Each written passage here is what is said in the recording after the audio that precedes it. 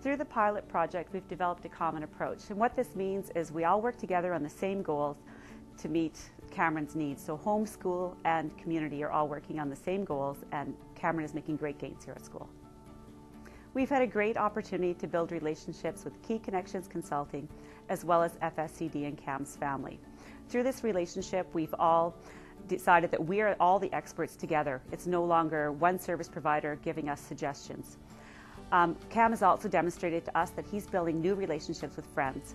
Um, the classroom teacher tells us that he leans over on the carpet and whispers to a friend for the first time this year. For the first time this year, they witnessed him at the sand table. He took another child's toy and the child became upset. And Cam walked up, looked in her face, and said, It's okay, it's okay. So he took the initiative to solve the problem himself, and he was not able to do that before this pilot project and the Common Approach. Cam's family has always been very involved in his programming and his learning and his relationships, and we've been able to continue this through the home, school, and community. Absolutely, I would support it going province wide. I think it's best practice and it should be happening with all children everywhere. When you have service providers, families, and schools all working together to support the child, you see the greatest gains in the children, in the families, and in the school staff.